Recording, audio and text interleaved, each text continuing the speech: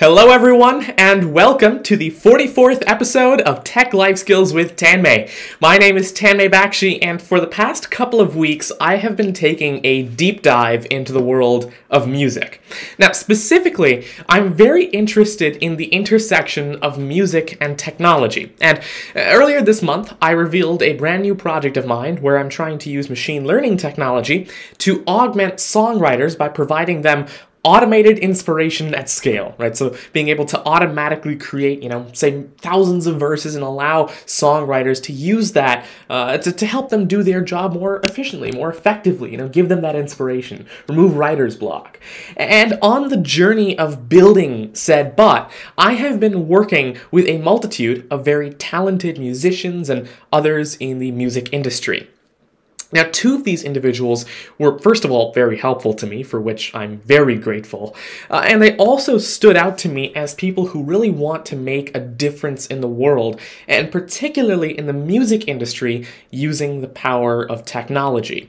Now, they have pioneered a brand new way of educating students in music and also allowing them to take accredited examinations at their own convenience entirely online. Their names are Cliff Cooper, founder and CEO of Online Music Exams, and Alicia Lyons, the uh, founding member of, uh, of Online Music Exams. Now, they have incredibly impressive backgrounds, so I'm not going to attempt to introduce them myself. Instead, I think it would be great to hear from them directly. And so, without any further ado, let's welcome Cliff and Alicia to the show.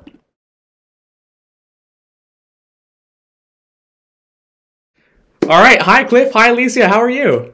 Hi. Good, thank you. How are you? Thanks for having us on. Of course. Thank you very much for, you know, agreeing to be on the show today. This is really an incredible episode. I'm sure it's it's going to be really fun to hear from the two of you. This is technology and, and really a topic that I've been super passionate about for a long time. As a matter of fact, we're already starting to get questions from the live stream. Um, I see a question from Tassin. He's saying, uh, Tanmay, are you passionate about implementing tech in the field uh, of music, or are you passionate about the field of music and singing?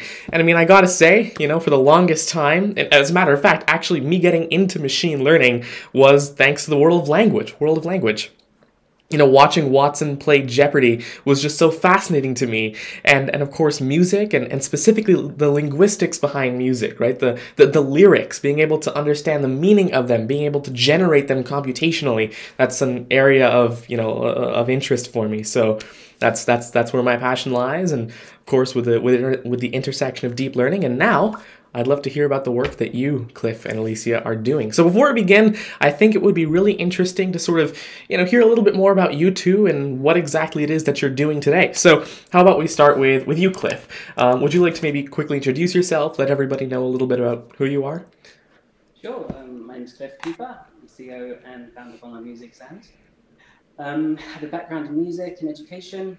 Uh, I have um, uh, some music schools and language schools. Um, I'm very passionate about teaching. Um, and I've been in the music industry for quite some time, everything from retail uh, to delivery driver of pianos to um, performer, singer, well, not singer, pianist. Um, and really getting into the qualification side was in the last 10 years, that's what I've been aiming at. Mm-hmm. It's very interesting to hear. Thank you very much for uh, for sharing. And, and Alicia, what about you? Would you like to maybe tell everybody a bit more about who you are? Yeah, sure. So I'm Alicia Lyons. Um, my history uh, or background is in mainly composing, performing. I've always done education, teaching alongside that. Um, but hugely passionate, especially in the last five years, I'd say, um, where I've really become interested in not only the education side but technology um, and how that can help with music education.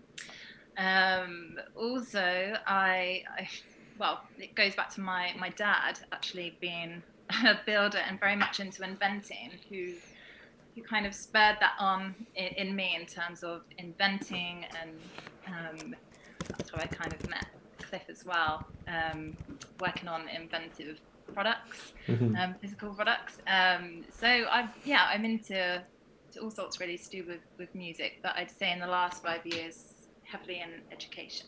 Wow, that's very nice to hear. It's it's it's also really nice actually to hear the story of how you and Cliff met because I mean I know that the, the way that we had met was actually pretty interesting and it was actually during a Tech Life Skills episode uh, one time you know I, I have my Apple Watch on and I got a LinkedIn notification um, and I was I was looking at it and I was like oh I got a LinkedIn message from Alicia and, and, and you know you were mentioning about how you had seen the um, the, the IBM Coursera course that I had that I had done on on AI machine learning. Um, Um, and you had reached out to me, and you know, I was like, oh, I, I took a look at your profile, and I was like, oh, online R&D director uh, or R&D director at Online Music Exams and I was like oh I'm working on a project using technology in, in, in music so why not discuss it with you? And so ever since then we've been sort of you know working together and can't wait to see what we can do in the future as well. But speaking of your background I also do know that you have uh, you you have you're, you're, passionate about singing and I also do happen to know you're very talented at it. Um, and I mean, as I mentioned, I have a neural network that can generate song lyrics, so I think it's only a natural fit that maybe we could spend a couple of seconds of today's episode actually hearing you sing a portion of the lyrics generated by the neural network, uh, which, by the way, everybody, that song will be available on my YouTube channel soon. Um, but, I mean, I'd, I'd love to hear it if, if, if you could please sing us a little, a little snippet of those lyrics. Okay, I just, uh, okay, let me just. Okay. Okay, I've just received these. Let me just read them. no oh, worries. Okay, so the song, Take You There. Okay. Uh, I'll, I'll have a go at the chorus. Mm-hmm. Uh, okay. Okay, just uh, got a little rhythm going.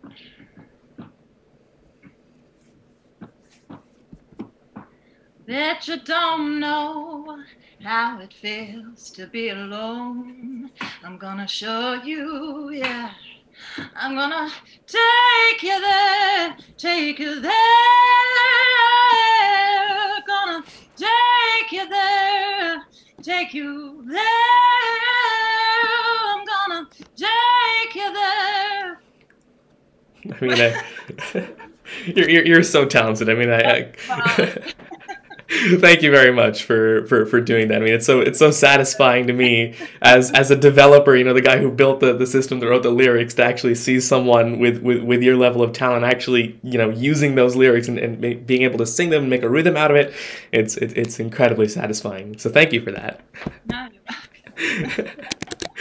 right. So I do know that you know, sort of going back to the to the work that the two of you do now. Um, I, I do know that of course your your company online music exams. I mean, as as the name suggests, is this sort of brand new way of being able to do music examinations and really music education online using the power of technology. And I want to know sort of what sparked that interest for you to actually bring education and technology together in this way. Because I know that recently, you know, we, we've sort of had to evolve the field of education at a much more rapid pace than we would have had to before, thanks to you know COVID and the pandemic and this, this whole thing. So my question is, what exactly sparked that interest for you? When did you get started, and, and how did you get started? I mean, if either one of you want to take that up first. Go first. Oh yeah. Um. Well, um, for me personally, it was. Um, I used to teach a lot as well when I was younger. I started teaching when I was about eighteen. Um, and I went into a charity project where I would teach students for free uh, mm-hmm. around different areas. Um, and there were so many students that were so talented that had no chance of paying for a lesson and definitely no chance of getting a qualification. Um, and so we started our own charity as well, Community Initiative, to do exactly that um, and to give more access just to the learning side of education. Um, and in, in fact, that was around the same time we had one of the music schools. So we would then encourage the students to come onto the school, into the school. Um, and at the end of the day, there's only so many places. Um, and there's only so many times available. Um, and there would be distance issues. So there would be parents as well who wouldn't be able to drop their, their kids off the school. Um, and so that was the first problem, um, which you know was upsetting in itself. Um, but then the second problem was when we got to the stage of student having the ability to take qualification, we would obviously have to pay for that as well. And when eventually it's like, at what point do you stop? You want to keep this going, but you've got to find another way. Mm-hmm. Um, so it was about that point that we tried to think about online and okay, let's start online teaching first. So we started online teaching, um, and that was interesting. I, I don't know when you're face to face with someone as opposed to doing something online. It's very different, um, especially if you're trying to teach a five-year-old how to play a specific note, middle C on a piano, and there's 88 notes, and they're only black or white. So you've got to really explain yourself really well. Mm-hmm. Um, which was good because it taught us as teachers, you know, that there was some improvement to do in our delivery. Um, so I don't mean other teachers, I mean probably myself personally that I could improve. So, um, so from that, um, we then saw that it was working well, and we could actually do something about the qualification side. Um, so we came up with a, rough idea of how it could be done. This was in tech, this was a technology back in 2010. So um, for you know that's well, 10 years has gone pretty quick. Um, and really that's when it started. We started trying to roll it out. Um, a lot of testing, um, a lot of resistance, um, because quite understandably people want to do things face to face. But really it was our only option at the time to help more people than we had spaces for. Mm-hmm. And that's really how I got into it, I would say. And then, would you say that one of your sort of major obstacles was actually sort of convincing people that, hey, you can do this sort of thing online, you don't need to be doing it face to face, and here's the infrastructure to actually do it? Absolutely. And it's people, one, it's changed, and two, it wasn't convenient at the time. And I think convenience is still king today. Yeah.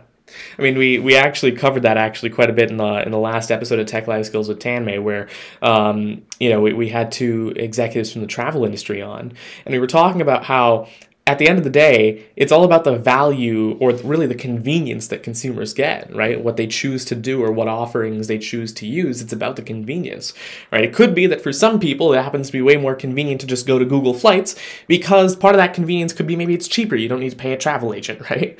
But then for some people, you want that convenience of you just tell a travel agent, I want to be here on these dates at these times, figure it out. Yeah, what, what flights am I getting? You know, what are my hotel bookings looking like? Whatever. So convenience definitely is a big factor into that. And Lisa, I want to hear from you as well. You know, what sort of, uh, what what sort of, what, what exactly does it, is it that you're passionate about? You know, when it comes to online music, online music exams, and what sort of inspired you to become part of that initiative? Yeah. Okay. So. Um, I've always been known to my friends as queen of Google, you know, really into researching, love learning. I've absolutely loved the explosion of online learning. Um, and I met Cliff when I went to teach at one of his music schools. And we realized that we had something in common, um, which was how to improve um, learning. So it started with us discussing how to write a piano book um, that would help beginners, um, to then me pitching one of my piano invention ideas uh, to Cliff because we just hit it off. Um, and you know, the, the piano invention idea was to help improve the hand shape of someone learning the piano. Mm. So we worked on that for quite a few years and did many prototypes and just really realized that we had a common um, interest, which was to to help people learn better, to help people um, have access to education, to have access to qualifications, um, to, to break down those barriers. So when Cliff was talking about online music exams, I was really excited um, to, to come on board because, you know, here you're, you're combining the tech, you're combining, you know, working with online course providers, um, you know, you're, you're helping people as well. In my teaching experience, um, I used to get frustrated, and I'm sure many teachers do. Um, it's quite common you get pupils really passionate about music, would then go and take a graded exam, be petrified of the, the experience, and then not want to, to continue with maybe the graded exams. Um, to still learn, but not to have that structured path because the, the graded experience that you know they found just frightening you know mm-hmm. especially little kids um, i i did all my exams in that system the you know the center based traditional face to face exams but you do get a lot of students that do find it daunting and it does unfortunately put a lot of people off. So um, I, I, saw it as an opportunity to work on something positive that can provide a new route, a, a new way, uh, not to to replace traditional center-based exams, but mm-hmm. to help to offer an alternative. Um, so that coupled with obviously mine and Cliff's interest in tech and all things to do with whether it's AI, VR, you know, we're, we're genuinely passionate about that anyway. Mm-hmm. have many conversations um, about that as a, a, subject in itself. But to combine that with music mm-hmm. and our desire to help, that's what's been really exciting.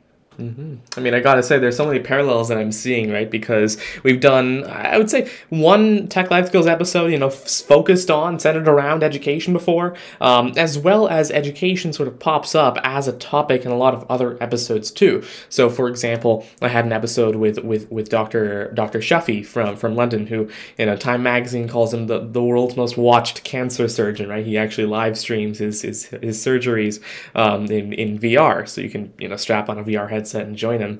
Um, and a lot of what he focuses on is actually teaching like the next generation of healthcare specialists using technology like virtual reality. And I can, you know, already see, and this is something I hadn't really thought about before, but as you mentioned it, you know, things come to my mind around there's so much potential to teach music and actually being able to play music in, for example, technology like VR and AR, using AI. There's so much exciting stuff that you could do there.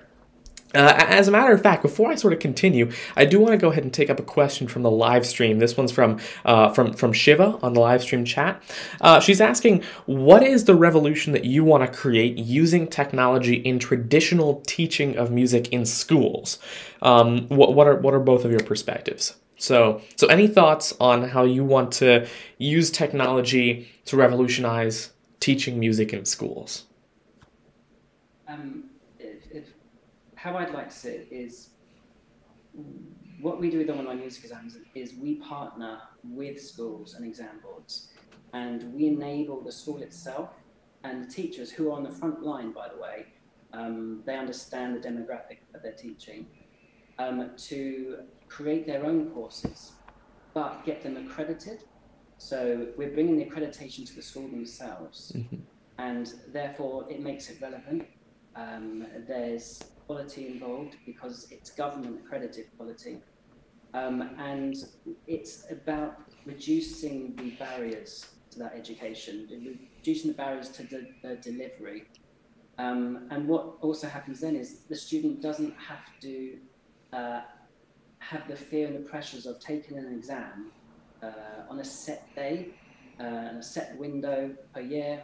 I mean, there's all sorts of things such as you get ill, um, you don't feel right, you uh, things happen at home, you, you just don't know. So what we're able to do is uh, enable the student to take the exam on any day they want, and that can be even depicted by the teacher themselves. So it's it's giving a bit more power to teachers and students directly. Mm-hmm. So being able to essentially, I mean, as, as you mentioned, make it so that teachers and students actually have more control over the process. Yes, and I'm not saying that anyone can just write their own course materials, their own books, and and get it accredited. There's mm-hmm. obviously quality assurance in place uh, and and protocol. But what we na- what we can do is we're able to work directly with schools and teachers mm-hmm. and help them and go right. This is what needs to be done. It needs to fit like this, but you're free to teach and deliver it how you want. Mm-hmm. Because at the end of the day, you learn because of your teacher. Mm-hmm. Whether how well you learn is because of your teacher, mm-hmm. and your teacher is usually your teacher has to inspire you. And I'm excited when teachers ask these questions because it shows that they're really interested and they want to inspire and they want to do things for the, kids. Um, and they're, exa- they're exactly the teachers that we want to talk to. Wow. So in a way, you know, people think about technology as this thing that is replacing humans at, at so many things, but in, the, in, in, a way, what we're doing with this technology is we're putting humans further at the center of the process, right? We're enabling the teachers to really be, you know, in control and, and be the ones that, you know, obviously they're the ones doing the teaching. And so when they have that extra control, you know, that gives them the leeway, that gives them flexibility to do their job better right? So that's that's that's basically what we're what we're doing here. I, I like that message, right? Putting humans further at the center, especially in such a creative field like like music, right? Like art. Uh, so now what I want to know is. Of course, it's a pretty drastic change going from, you know, face to face, in person, getting things done physically, then transitioning to doing things online. So we've heard a little bit about the pros of this technique. What are some of the cons of the technique as well, right? What, what are the sort of pros and cons of it? And what are some of those challenges that you face today? So I would say the challenge still is the the convenience of it. You say, Alicia, I think the convenience is still maybe the main challenge um, and then it's the availability of the technology.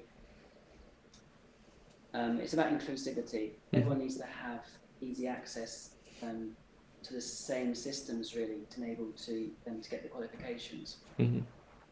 Um, there's also a restriction in the sense that at the moment it, it's on a computer, so we don't offer what we do, particularly on, on a phone. So we can't because sheet, piece of sheet music, you try to read a piece of sheet music on your phone while playing your instrument, scrolling through, um, it's not, you can't assure quality when you mm. do it like that. So there's the restriction there for sure. Um, I also think um, mindset is is a restriction. So, mm-hmm.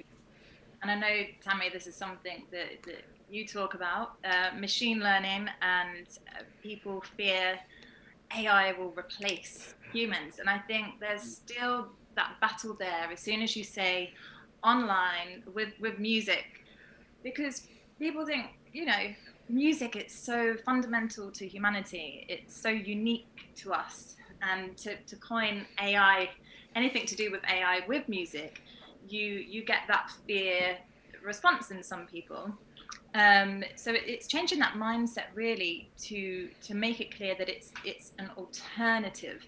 It's an alternative route, um, and the AI itself will never replace a, a real examiner. It just mm-hmm. guides the student, guides the student through the exam. Um, there is always a, a, real live examiner to to mark to mark the performances. Mm-hmm. Um, so I think mindset for me is something that I feel is a restriction. As soon as you say online, automated music exams, there's a motion that oh, it's it's not as true to life as a face-to-face center-based exam. Mm-hmm. Um, but when you you know when you press that record button, you're still going to get the nerves. You still have that one one chance to perform. Mm-hmm. Um, so I, I think that's a restriction. Would you say, Cliff? Yeah, absolutely. Um, yeah, that's a, that's a really good point. Is the mindset? It's mm-hmm. uh, how do you how do you how do you how do you ensure the mindset across so many different countries? You know, it's everyone's at different stages of technology as well and accessibility to it. Yeah. Mm-hmm. You know, what I like though is that fundamentally the challenges that you've shared aren't challenges of of you know at a fundamental level bringing something like music going from from face to face to to um, to online but rather they're challenges surrounding the infrastructure around that problem, right? So, for example, people not having access to technology or people having the wrong mindset about technology. And what that tells me is that technology is capable of augmenting, you know, in, in, in the way that, you know, we're, we're suggesting here. Um, and that that in and of itself isn't the main challenge that we need to focus on, right? And sort of getting back to your point on mindset, you know, I, I feel like in general, when humans learn and when humans are you know examined in a way automating it generally doesn't work, even with something that is traditionally viewed as statistical and as narrow as programming, right? Like there's websites like LeetCode or, or HackerRank or whatever, you know, whatever the whatever the programmers are using these days. Um, and these these websites, you know, they'll say, all right, here's a problem, build a Sudoku solver, um, write your code or or whatever else, and click run. And if it passes all our test cases, you're good to go. Otherwise, you failed. Um, and these websites really don't work because then you overfit students to just being really good at solving problems the automated checker lets them through. And, and, and I feel like even within programming, that's a bit of a skewed assessment, but it's like, ah, it works, okay, fine, because we need some way to do it at scale. You know, there's millions of programmers, how are we going to test them all? I guess we got to do it this way. But then, especially in a field like music, you know, you still need the humans there. Right? You're not going to be able to replace that human intelligence that's there to be able to analyze that creativity because it's fundamentally different every time. There might be patterns to pick up on, you know, for for a machine learning system, but there's no way to completely remove that human element of actually being able to comprehend, you know, this is a new kind of pattern that builds off of this meta pattern or whatever. So I, I feel like that's definitely something to, to, to keep in mind for everybody. And now I do want to transition to another question from the live stream. Actually, this one's from uh, Sarah Shevlin on the uh, on the live stream. Hi, Sarah. Um, so Sarah's saying the way music is consumed currently, for example, streaming platforms like Spotify is quite disconnected and has lost the tangible qualities like records and CDs used to give to listeners. So, in what ways do you think tech can be used or developed to enhance uh, the connection with artists and fans, and also with learners of music, and also people everywhere who love to listen to and engage with music? Really quickly, one thing I will say before I hand that off over to you, and you can think about that, um, is you know, I, I'm I'm relatively young. I mean, I when I started to get into the world of like programming, for example, when I was like, you know, or at least more intense programming when I was like 12, when I was like getting into machine learning and stuff. Um, back then, I used to use really, you know, modern developer tools like Docker, for example, and I would be like, how do developers live without this? How do developers live without the cloud? It doesn't make any sense to me. How can you get any work done without these new modern technologies? Um, that's just what I've always had, so I kind of take it for granted. And similarly, you know, when I started, like, sort of, you know, doing research into this world of, uh, of music and stuff, and I started to realize, hey, we have these streaming services like, say, Apple Music or Spotify. It, it really, you know, it, it I, when my friends told me that you know you can stream music today and you can just listen to pretty much whatever you want to but a couple of years ago you had to like go actually physically you know buy music that I was taken aback for a second. I was like, "What? Why?" you know, it's it's it, it just didn't make sense to me. How could you have something like you know music not on a streaming platform and something that you have to go actually physically you know buy individual copies of? Um, and so that's that's something that's that's you know a foreign concept to me. And so I I, do want to hear what uh, what what your thoughts are on on, on Sarah's question now. um. Well, I mean yeah, I, I agree. The, the quality is different. If you go back to, you know, when we were going to HMV and buying CDs or before that and vinyl records. Um, but what I find interesting actually is platforms like YouTube or even social media. I feel touching on artists connecting with fans. I feel that artists are a lot more involved on social media, um, on performing on YouTube. If you look into the VR developments, I think VR with artists is going to be the next real big thing to mm-hmm. have that connection with listeners so they can feel like they're there watching um, their favorite artists perform on stage. Um, I feel that in, in terms of that connection, it will be going more towards the the connection, the the the live connection, you know, with with social media platforms, with VR, um, and maybe less away from just streaming on mm. on Spotify. But I think there would be that that need for that. Um, personally, I don't know how you feel, Cliff, in terms of. I mean, yeah, I suppose uh, I think there's always going to be the two sides. I think you're going to have the music online, the Spotify, but the, the, you get a different feeling, obviously, when there's performance of music. Uh, you're relying actually on the energy that's in, in the room. I mean, uh, it, even the artists themselves feed off the energy of people in a room uh, or in a concert. Um, so it's a completely different experience. So again, I think they can live side by side. Um, is essentially what we're what we're saying. I think maybe. Mm-hmm.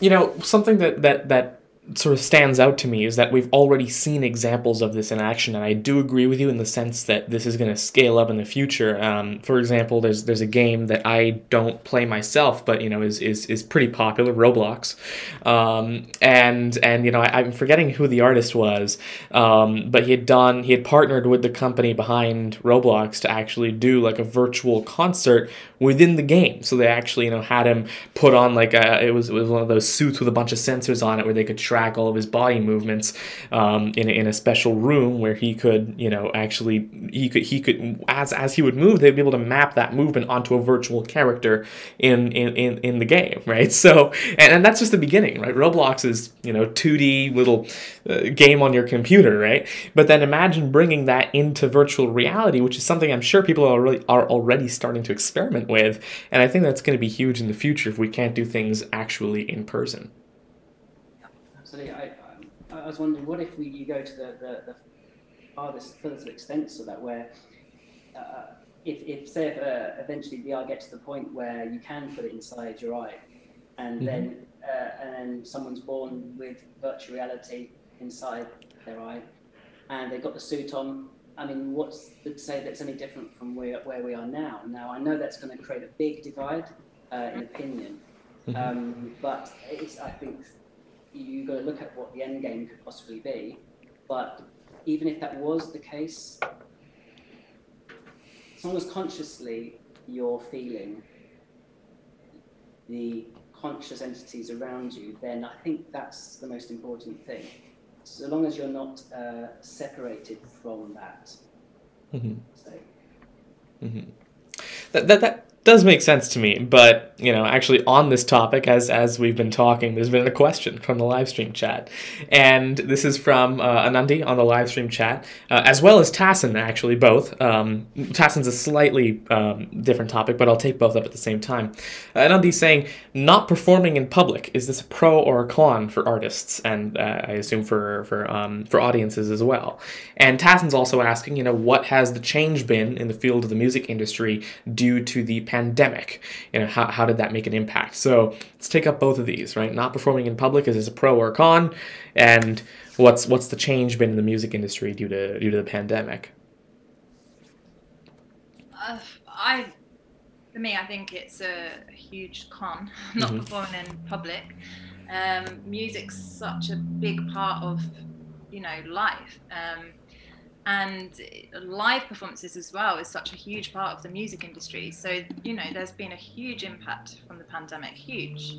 Um, so uh, it, it's sad. I know a lot of friends in, in the music industry and yes they can go online and they can do performances which is great. But as Cliff was saying before it's for a performer and if you're in the audience you're feeding off that energy exchange that is really important um, for the experience for both parties. So I, for me, I feel it's a con. However, what I do think is is great, and I'm sure everyone's noticed this, is during the pandemic, um, the amount of amazing music videos that you'd see of people coming together. You know, uh, do you remember in Italy when you had those scenes on the balconies and all, all sorts of amazing videos? It just goes to show that even when you know that music that live performance music is squashed mm-hmm. you can't squash that from humans because mm-hmm. they will just get together and find a way to perform live whether it's performing their recorder on a balcony or singing you know across the street um, I, I think live performance yes it's been heavily disrupted but it will always have a place mm-hmm. you know mm-hmm. once the, the pandemic um, you know, times are, are over, um, I, I don't think that will ever go away, no matter how much VR, AI, you know, however far technology goes, there is that want and need for that live interaction mm-hmm. from both musicians and audience members. Right? Humans are humans are social animals, right? We we, we need that interaction, right? We need that face to face personal interaction. I gotta say, the pandemic has deprived a lot of us from a lot of that interaction. Uh, but you're right, people do find a way. Like right, life finds a way to, to to figure out how to socialize or how to you know get get their music fix. I mean, as, as you mentioned with uh, with with this with the pandemic situation in, in Italy, which was incredibly unfortunate um, back when the pandemic had, had, had first hit. Um, you know, we, we had all these all these people, you know, balconies and those, those wonderful videos as, as you mentioned. Um, and so, you know, it's it's it's definitely interesting to to see how humans find a way and how we're going to continue. I mean, once the pandemic we start to see, you know, slowing down, we start to see that situation slowing down, how we sort of transition back into, you know, in-person events, but also the impact that this will have had on having more virtual events as well. So it's going to be that sort of mix of, of, of, of both now. There's definitely been a shift in you know consumer behavior and, and, and what they prefer, but at the end of the day, we're still humans. and so that's that's that's definitely something to keep in mind. Now there is another question. This one's from the LinkedIn live stream. This one's from Ayush. Uh, he's asking, um, how do you differentiate recommendation systems and machine learning predictions?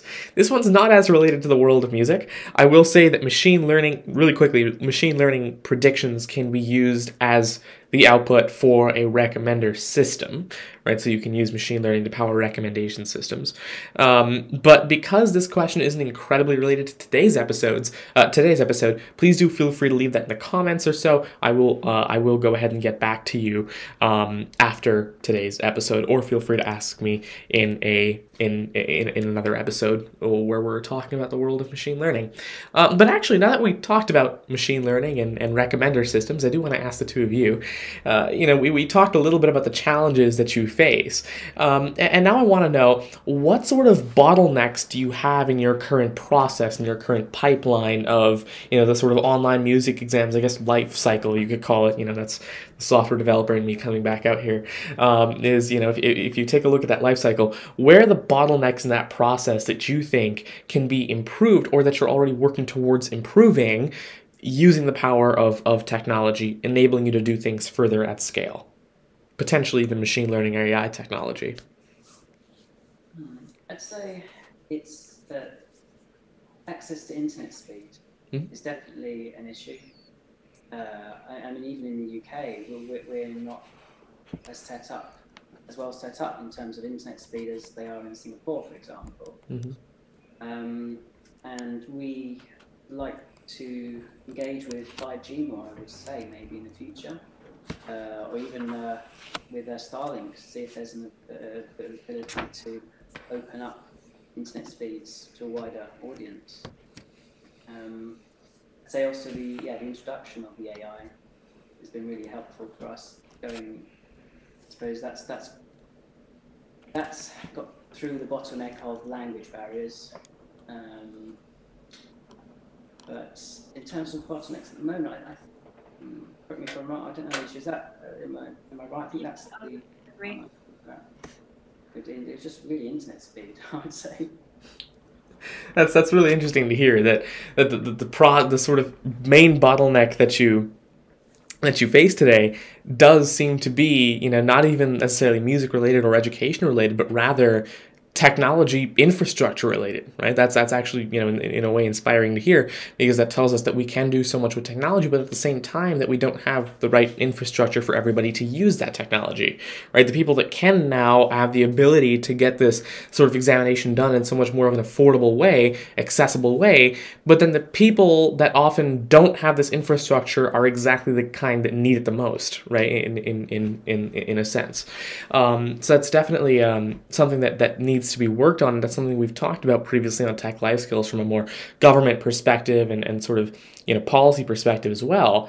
But then that also sort of brings me back to the question: if I sort of um, pivot this further, and let me know if, if if there's anything you have on mind right now, or anything that you can actually share. Um, but you know, apart from like an accessibility perspective externally, you know, internally within the actual sort of online music exams, I guess system or or the way that it works for people that actually do um, do uh, access or, or sort of use the system. What are areas that you think could be could be done in more effective ways if the technology to do that existed.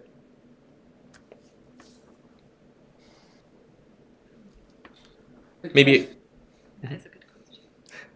Yeah, and I guess maybe the sort of main reason that I that I ask is because if you take a look, there's so many different uh, you know processes um, within different companies and sort of different pipelines where when you identify a bottleneck, you can start to capture enough data to then be able to expand that bottleneck and make it so that's no longer what's causing that's make it so that that's no longer the weakest link in the chain, right? So, for example, you know Google's able to do with translation, right? Like if you if you Google something in uh, a combination of like English and Spanish, they're still able to use neural networks to understand what all the words mean and what your sentence means, even though you're using like you're, you're code switching within a single search query. And a couple of years ago, you know, you would have had to think, uh, and I'm old enough to remember this at least, uh, you would have to think, you know, how do I word my sentence carefully? What keywords do I give Google to actually get it to return what I want? Uh, but now you can phrase things very, very flexibly in, in a very flexible way. As a matter of fact, as I mentioned, even do code switching, and Google's still able to give you the right results. Right, so that's that's sort of what I'm uh, uh, uh, alluding to in that sense. Um, there is also another uh, question, really quickly, that I do want to pivot to um, from from Vasav on on the LinkedIn chat, uh, asking how can we implement musical knowledge into developing technology. I feel like this is a bit more of an open-ended question. I think that would require a bit more sort of detail to, to really answer effectively. Um, but one thing I will quickly say myself before I hand this over to you, in case you have any thoughts, um, is when developing technology to work within music, like for example, the neural network that I built for automatically writing lyrics, I guess the main sort of thing to keep in mind is that within, especially machine learning, but technology in general, working with domain experts is very important, right? If I had just sat there as a developer trying to build the best like lyric writing bot, I would have gotten nowhere. Without actual feedback from songwriters, from people in music, that bot would not have been nearly as good as it is today. And even now, okay, this is a tool to augment songwriters, help them. So I guess working with domain experts is really important. I mean, I see Vasav, you're a software development engineer, and so I'm not sure, you know, how deep you are in the world of music, but if you're building technology in music, working with domain experts is important, and sort of being able to to collaborate them, with them is critical. But you know, Cliff Alicia, any thoughts on how you can implement musical knowledge into actually developing technology? So I think there there is technology out there at the moment that, um, in fact, even, even Google has it, where it can identify music. So it can tap into uh, publishing published songs and tell you what the song is. There's also um, technology that enables um, the, I suppose, the technology to read your pitch uh, and associate it with a piece of music. So if Mhm. the music is digitalized, uh, it then will understand what pitch. And when I say pitch, this is about your notes. So you know whether the note is higher or lower, um, and it will tell you when you've played a pitch incorrectly, and when you can do it, and it tell you about your rhythm as well. Um, that's the extent I understand it's being used. Um, there's obviously the, the technology which mu- moves the music as well at the same time. So when you're playing, it knows when you're playing and it knows where you are in music and it can move with you, which is really helpful, especially for mobile uh, software. Mm-hmm. Um, I think that's the limit to it. I, it, it, in my opinion, it, it, it can only go so far because music is an art form and it's about your perception. So, for instance, I understand AI did a painting, did it once in, uh, in New York, in a New York gallery. Um, it create, created its own art. And obviously, an- anyone can take away what they got from that piece of art. Mm-hmm. Uh, just like a human artist, you take away from it what you get from it. Um, but just because it can do it doesn't mean it can analyze someone else's art. Mm-hmm. Um, so I think that there'll only be a certain amount that technology can do for music or creative industries. Um, that's where I'm at the moment, I think. Mm-hmm. Right. There, there is sort of that that. Uh, I mean, f- first of all, if I if I do take a step back, machine learning in general analyzing very creative data. For example, language, where things are up for interpretation, right? In general, I think that is very it's a field that's very much in its infancy. And I know lots of people will be like, wait, what? Natural language processing in its infancy? We've been doing this for decades, right? We've got Google, we've got Siri, we've got all these chatbots, we've got so many great things. How could you say it's in its infancy? And I say that because natural language is infinitely more complex than any computer system can even remotely dream to achieve today. GPT 3 may very well be the edge of what we can do with NLP, and that's nowhere near even scratching the surface of how complex language really is, because language intrinsically ties into our thoughts and the way that we think and the way that our brains are structured and so much more. Society, right? All, all these things. That language is tied into everything. And so to understand language, you must understand everything else as well. Uh, but then, you know, music, sort of in a very similar way, if anything, I think is a bit more complex because it is even further up for interpretation right? As an artist, you have a maybe potentially, you know, and this again varies from piece to piece, but maybe you have a specific message that you want to get across, maybe a story that you want to share. But then at the same time, people can take away what they want. I mean, as you mentioned, Cliff, what they want to take away from that piece of art, right? And so the complexity that comes in with using machine learning to understand something that complex and that much up for you know common sense reasoning is practically something that, you know, we don't really have the technology to do today. I gotta say, as I was building my bot, you know, the main sort of challenge was not just building the network to write something, but also building another network to understand what had been written and what should be given to the songwriter, right? So that, that, that is definitely really um, a, a, a challenge that we got to work towards solving in the future. As a matter of fact, we actually do have another comment. This one's again from Sarah, um, talking about a pro of having live music online. Um, sort of going back to, to what we were talking about a little while ago, uh, is she says, I've experienced unexpected gem moments during this last year, engaging my favorite artists doing Instagram lives, music tutorials from their homes, and virtual concerts. So, you know, there's pros and cons to everything, and it's always possible that, you know, some, some things happen doing things virtually that, you know, couldn't have happened. Uh, physically or in a world without you know this this pandemic situation. So you know there's a bright side to to, to, to everything. All right, there is another question that I do want to take up. This one's from Shiva, uh, asking what opportunities do you think will be available in the coming years in the field of music? So, what, what sort of opportunities do you see? And also, what other skills uh, will they need more than um, just their knowledge in the world of music? So, for musicians, what skills do they need apart from their knowledge in music? And what are some opportunities you see coming up in the next few years?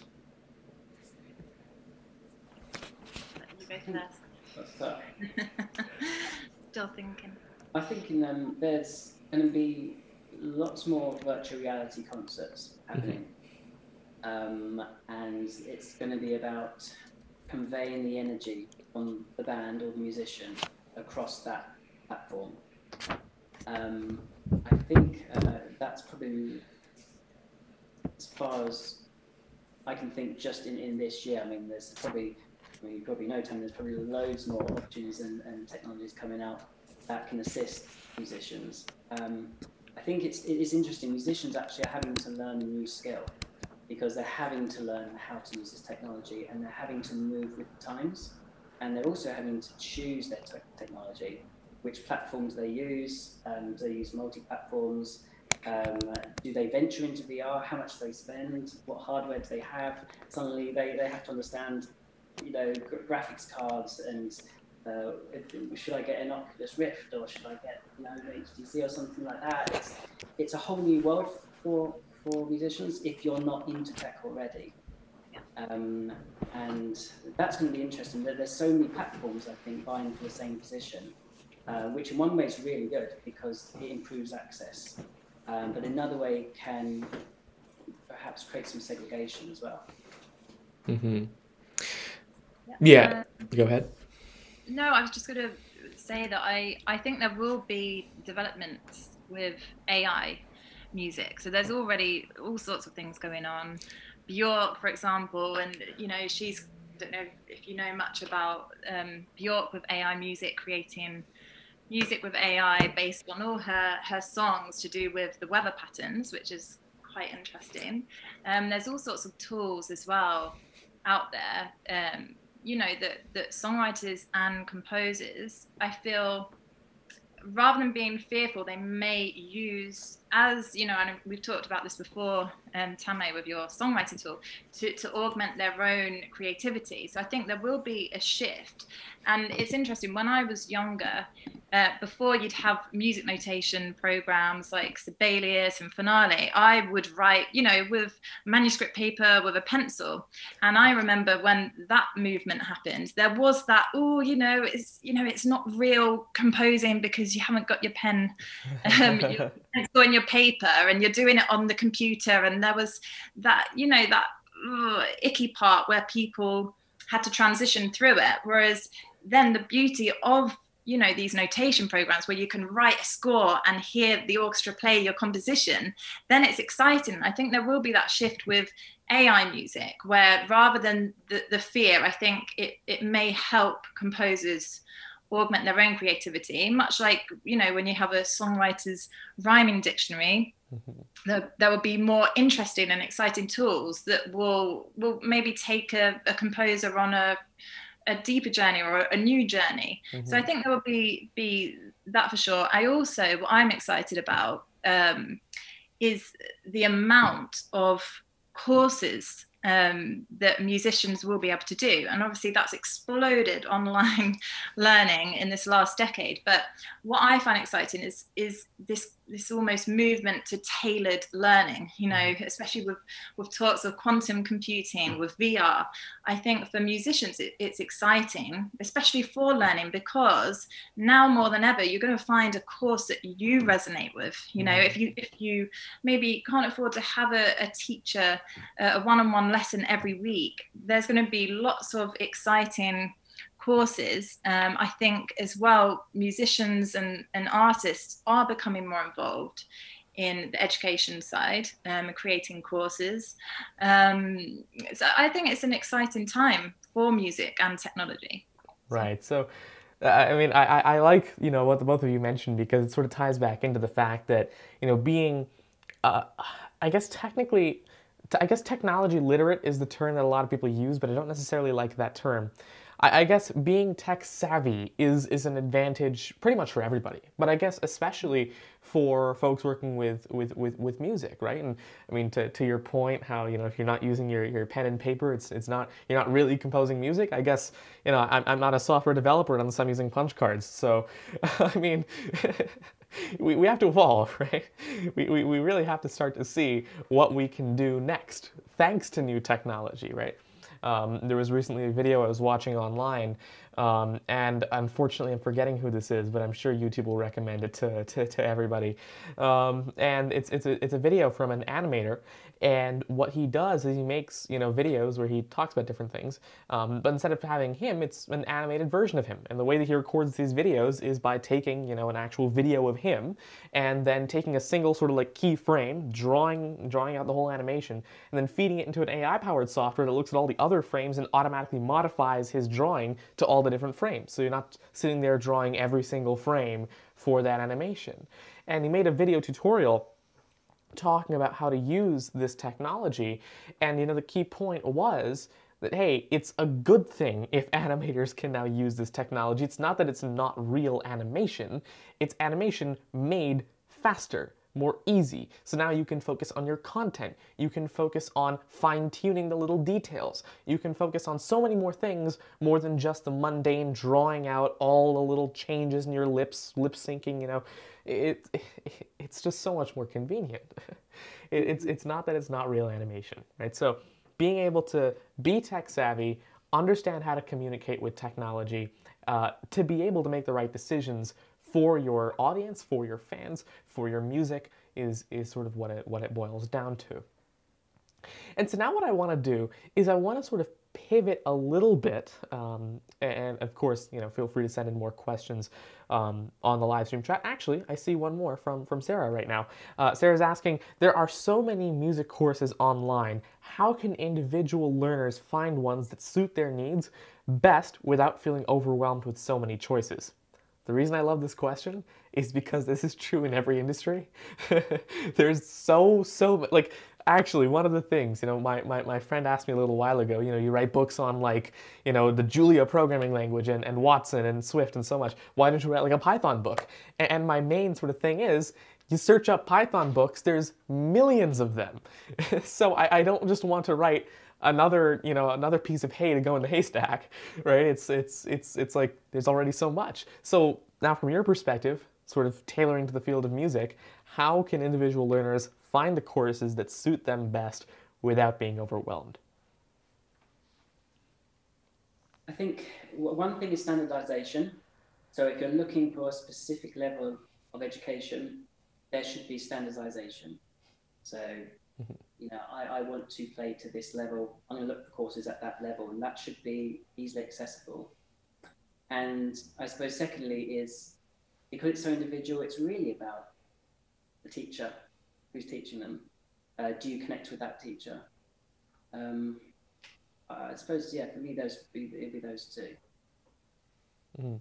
Alicia, what do you think? Yeah, I, I would say as well, it depends also why you're learning. So, for example, if you're learning because you want that structured path and you want to get grades, or maybe at a higher level, you want to get those extra points that will maybe help you get into universities, um, then I, I think you'd be looking for a certain course that's that's structured, that you know that that has accreditation. There's many music courses um, that yes, it, it's down to the teacher, so what their background is. Um, but I think in terms of having a quality course, there is that one way to make sure it is accredited. Mm. Um, if you're looking for a structured path, but then I agree with Cliff. If you're doing it, um, you know, you don't have that necessarily in mind. It's it's about connecting with with the the teacher. Um, mm but yeah, I agree that there are so many music courses. I love that. I mean, you know, if, if I were answering the same question for, for programming, I mean, uh, I, I probably the first thing that came to my mind would not have been how do you connect with the guy teaching it. But that's actually what I like about your answers is that it sort of talks about how it's different in music than it is in other industries, right, or, uh, or in other fields. A major part of you know learning music, and I, you know now that now that I think about it, this applies to more fields than just music, of course. But something that we don't often think about is how well you actually connect with, for example, the person who's actually teaching the course right and i feel like that's exactly one of the reasons that i'm so passionate about you know myself teaching like for example ai or, or machine learning to save like high school students right because i feel like if if they if they if I can somehow make the examples more relatable to them, right? If I can somehow, uh, you know, in, in a way give them that resource um, and, and sort of allow them to have more fun doing it than they would otherwise, right? That could interest them to actually get into that field. And similarly, you know, if, if, if you happen to find a course uh, that's not only interesting to you, but you also sort of click or connect with the guy actually teaching the course or the, the person teaching that course, that I think is, is, is a major part of it. So Thank you for bringing in the aspect of the human connection there. All right, so now though, speaking of, you know, generalizing for music, I do want to pivot a little bit and understand a little bit more about what you've learned about education in general. Now, I know that, of course, online music exams currently focuses on music, um, but my question is, do you have any plans right now you know, to to, and I'm not sure if this is something you you, you can you can say just yet. You know, maybe there's there's an NDA that we signed or something. But um, you know, do, do you do you plan on diversifying from subjects outside of just music? Do you plan on sort of expanding in that sense? And also, what do you think you've actually learned from your experiences doing online music exams that you think the rest of the education industry in general should already be looking to apply?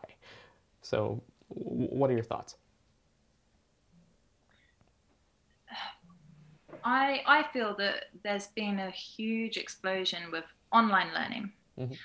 but I feel the examination side is not as advanced, and that's an area that is exciting because you know, as our previous um, question uh, indicated, that there's there's just so many courses. It's a bit overwhelming, but in terms of the examination side, it's still rather traditional. So there's lots of exciting developments with online proctoring and, and all sorts of exciting things but I, I still feel that there's room for development and improving and it's exciting.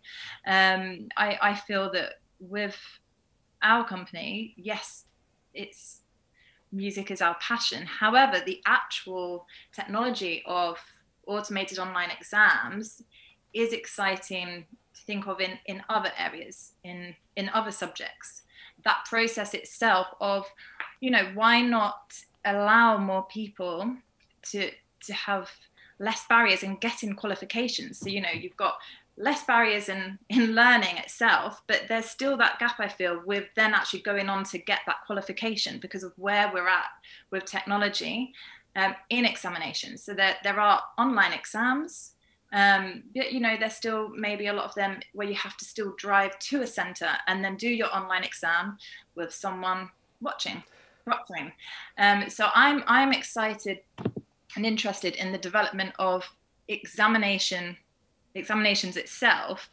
Um, I feel there's going to be a big shift in tailored learning, and therefore the questions I have is how is that going to affect the examination process? You know how, how much have we have we changed examining someone itself in other subjects? I'm not talking about music but actually are we examining someone in a subject as best as we can? There's mm-hmm. all sorts of courses. You know everyone learns in different ways. So i feel like we're really tackling that. You know lots of people learn more visually. Mm-hmm. um, there's loads of really great video online courses. Vr is going to be really great. Um, but actually then when you go to take the exam what's going on there? Mm-hmm.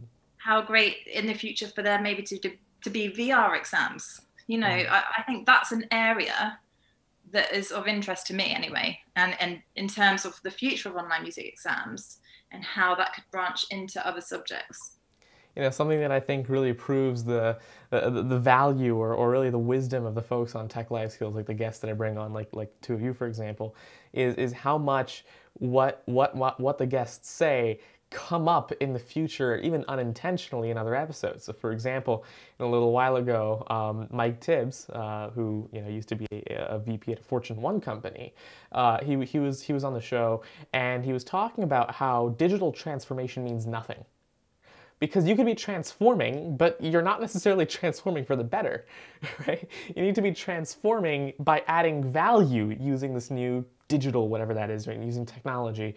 And so similarly, exactly what you mentioned, Alicia, if the exam is technically online, but you still need to go somewhere in person and be proctored in person, that's basically no better than just doing it on a piece of paper, right? I mean, you know, it's you're not really adding all that much value by transforming to do things in, in a digital way.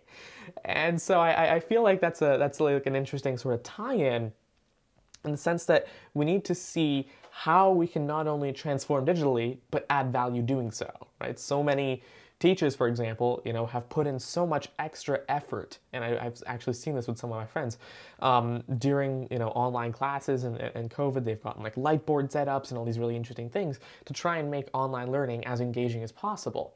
But then there's also the other sort of group of, of, for example, teachers that not necessarily on purpose, but maybe just don't have the technical knowledge to actually make online learning as engaging or as fun as it should be, right? And so that sort of opens up the whole other question of how can we build the right infrastructure to enable not just online learning, but online learning that is better than what we could be doing physically. And I guess that that's sort of what, what opens up the entire uh, field to, to, to, what we're doing in the future, right? I guess that's, that's, that's where we're evolving. Uh, now there is one more uh, question that I do want to take up really quickly from Cecily. Uh, Cecily's asking, what was one of the most powerful developments in the music field using technology? So throughout your careers, what's one of the most important developments you've seen using technology? I mean, apart from online music exams. apart from that one, really good. Yeah. It's the sort of thing that's sort of hard to say off the top of your head. Yeah. you, you can think about that because, you know, I, I, I gotta say, if you would ask me, you know, what's the most important thing that's been done in AI, you know, in the past 40 years, way longer than I've been alive, you know, it, it, it would take me some time to really think, you know, what what really is that that sort of milestone that we reached in in AI? It could be compute power, it could be big data, it could be you know back propagation of different optimizers, it could be the transformer architecture. You know, it's it's so much stuff. So, from your perspective in music, what do you think is the most one of the first things that comes to your mind?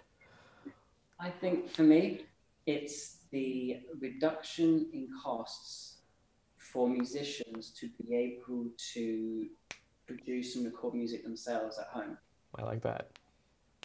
I like that a lot. Was, I, and don't get me wrong, I love reel-to-reel recording um, and the analog sound, but which can be replicated to an extent. But it's the digitalization of this and how it was a, able to reach a wider audience at reduced cost. I think that empowered so many people. Mm-hmm. Yeah, that, that's interesting. You said that, Cliff, because the first thing that came to my mind was Logic, using, you know, GarageBand, yes. Logic. I remember when I first got that and just being so excited. Just, you know, that that that massively changed my life. Um, obviously, before that, there was the music notation software, which is a composer. That was really great. But but yeah, the the logic and exactly what Cliff said, I think massively changed my life. Accessibility yeah. really changes the way that a lot of us think about technology. Uh, cloud technology, for example, acts as like an infrastructure, right? Where now we have so many people that can just sit down one day and be like, I want this to exist. And they can spin up a cloud server, they can train an AI model, they can do it all themselves. Kind of like how, like within astronomy, if you wanted to observe Jupiter and its moons, right, you could buy a telescope and you could do it, right? Even though it would be expensive, it would be possible, right? It's, it's not completely limited to just a scientific community with multi tens of millions of dollars worth of telescopes and things they put in the sky, right? Similarly, with cloud technology, AI and other sort of advanced technologies became accessible to people and developers. And now with music, right, technologies like Logic Pro X from Apple, or, you know, and there's so many more that, you know, I, I don't know off the top of my head, of course, I'm not the musician, right? But, but, you know, all this different software is now enabling musicians to start to create at scale. It doesn't matter if you're not a professional, it doesn't matter if you have, don't have like a multi-million dollar studio set up, you can still create music. You can find people that have the same taste as you. You can find the people that want to hear your message or your story, and that's something that you can't get without the accessibility that technology affords you.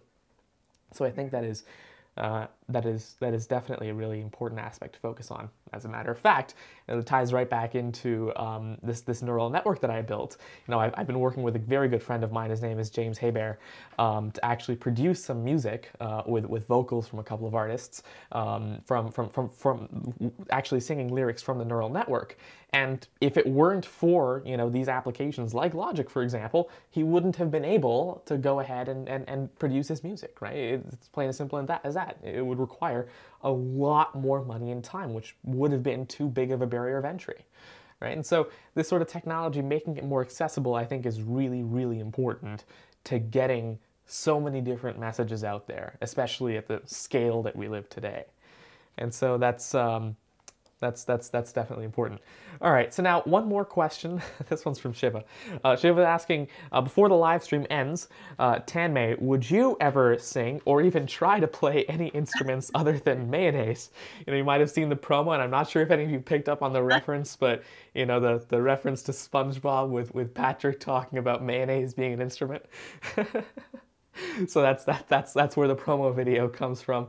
Um, but uh, Shiva's also asking, do you believe that music has healing power? Curious to know from you. So uh, the first thing is, I mean, to, to answer your question personally, I don't know about singing. That's that's not my um, that's that's definitely not what uh, was in my comfort zone. I can I can I can write code really well, but I'm not sure about singing. So, um, uh, but apart from that, though, you know, building this neural network and, and, and sort of um, diving deeper into the world of music because of it um, has definitely shown me a lot of things um, that you know I, I, I, at first you know didn't didn't realize I was interested in right? So um, all the way from the raw linguistics perspective of it to the actual music element of it. You know, there's so much more that I've been able to discover. I will be uploading that to my uh, YouTube channel very soon, the song that we produced uh, from the Neural Network. It was sung by an amazing singer. Her name's Elena Coates, um, and also composed uh, by, as I mentioned, James, as well as another one with, uh, again, very talented singer, uh, Claudia Heuser, too. So I will be putting links to those very soon and I'm going to be working a lot with music in the future as well. So do stay tuned for that.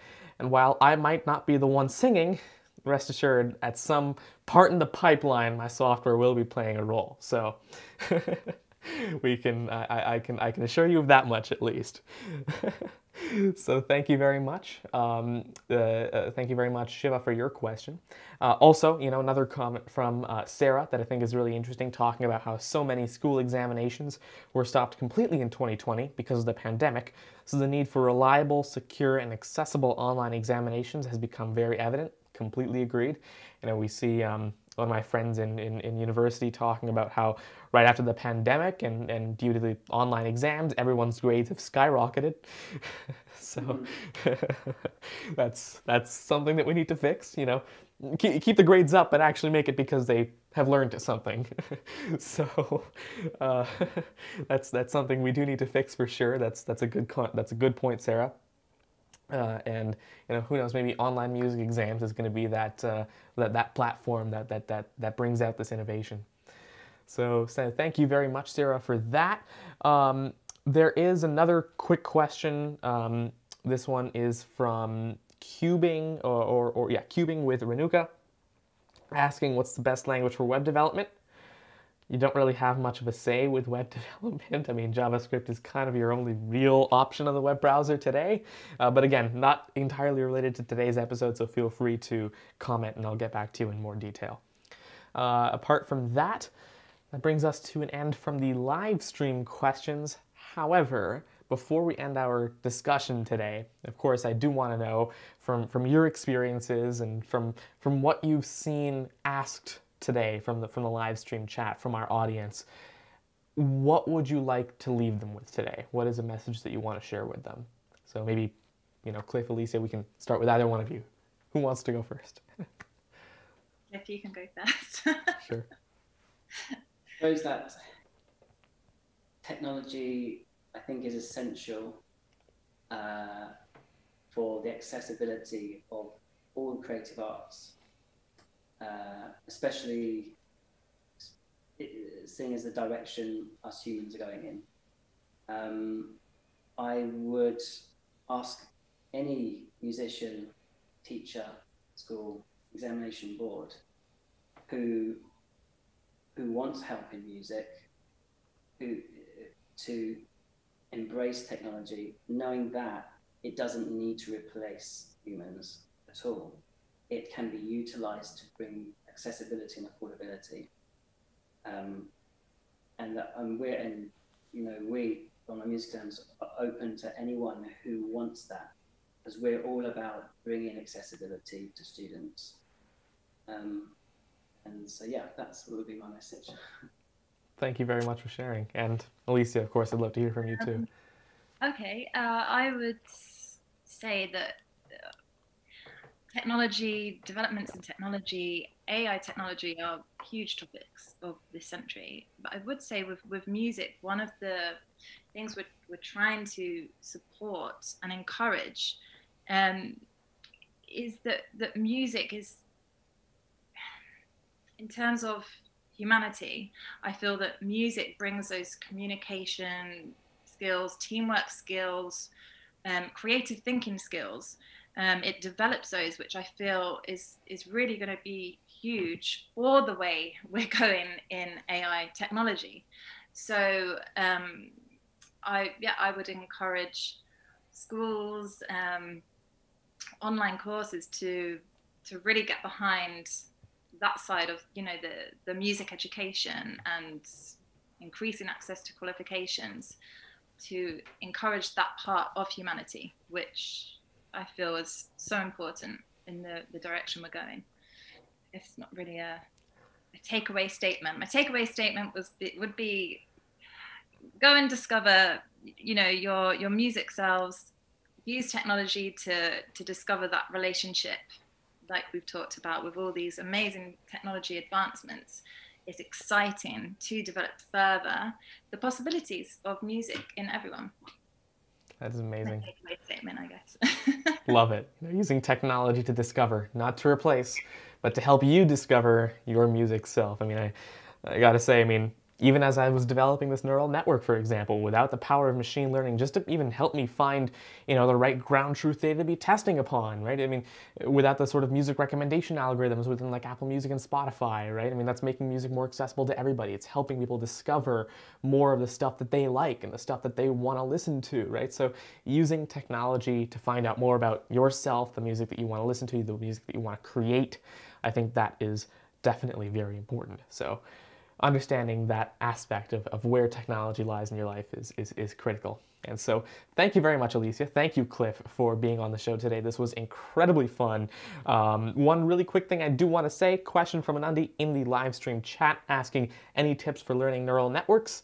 Well, you can go ahead and take a look at my Learn Deep Learning from Scratch series on YouTube, which I will link to in the description or actually in the live stream chat after we end today. So thank you very much for asking that question as well. So this is a really fun episode. I've got I've really garnered a lot of insight here today, right? All the way from, you know, the ways technology is really enabling us to have better education to some of the main challenges that we're facing actually applying technology in education, which as it so happens, isn't really about the education, but rather about the access to technology, which is something that we really need to dive deeper into in a future Tech Life Skills episode as well. So thank you very much for bringing that up. And of course, also how at the end of the day, we're not replacing humans with this technology, but rather we're putting them further at the center of something that is fundamentally so human and creativity driven. So once again, really interesting episode. Thank you very much, Alicia. Thank you very much, Cliff. Make sure you join us next week, everybody, at 11 a.m. Eastern Time next Sunday. We've got some really fun stuff coming up about the world of data and AI. So thank you very much once again, everybody. I'm looking forward to seeing you next week, and goodbye.